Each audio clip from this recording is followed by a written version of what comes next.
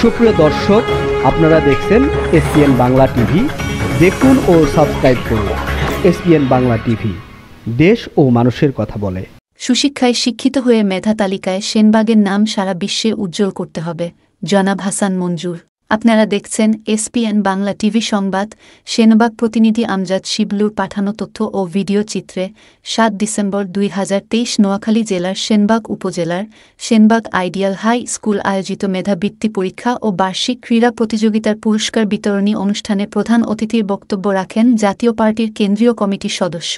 সেনবাগ উপজেলা জাতীয় পার্টির সভাপতি ও এস এ টিভির কোঅর্ডিনেটর, বিশিষ্ট সমাজসেবক, সেনবাগ মাটি ও মানুষের নেতা, শিক্ষানুরাগী সাংস্কৃতিক ব্যক্তিত্ব, সেনবাগ গড়ার স্বপ্নদোষ্টা হাসান মঞ্জুর। সেনবাগ উপজেলা পরিষদের ভাইস চেয়ারম্যান গোলাম কবিরের সভাপতিত্বে এ সময় সেনবাগ আইডিয়াল হাই স্কুলের ইনচার্জ নাজিমুল ইসলাম তানিনের পরিচালনায় বিশেষ অতিথি হিসাবে উপস্থিত ছিলেন সেনবাগ আইডিয়াল হাই স্কুল সহসভাপতি Mohammad Jahangir Alam. Senbag ideal high school প্রধান শিক্ষক রোকন উদ্দিন। উত্তর অর্জুনতলা সরকারি প্রাথমিক বিদ্যালয়ের প্রধান শিক্ষক রোকেয়া বেগম। সেনবাগ সরকারি প্রাথমিক বিদ্যালয়ের প্রধান শিক্ষক কানিস ফাতেমা। সেনবাগ আইডিয়াল হাই স্কুলের উপদেষ্টা আব্দুল মাজেদ। সেনবাগ আইডিয়াল হাই স্কুলের ইনচার্জ আমিরুল ইসলাম সহ প্রমুখ। পরে আইডিয়াল হাই স্কুলের মেধাবৃত্তি পরীক্ষা ও বার্ষিক ক্রীড়া প্রতিযোগিতার পুরস্কার হিসেবে বিভিন্ন উপহার সামগ্রী ছাত্রছাত্রীদের হাতে তুলে দেন অতিথিবৃন্দ।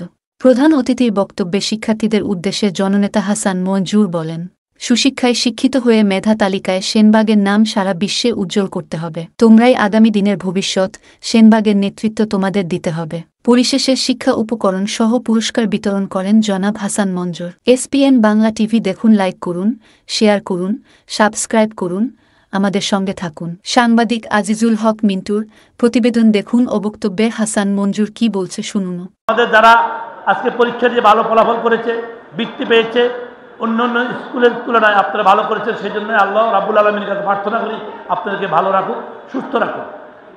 বিশেষ করে আজকে এখানে ছাত্রীর সংখ্যা বেশি দেখা যায় এবং মায়েরা হচ্ছে সবচেয়ে বড় সম্পদ ছাত্রছাত্রীদের।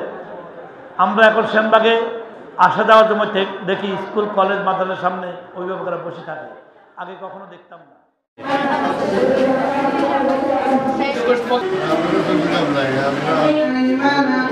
وعسى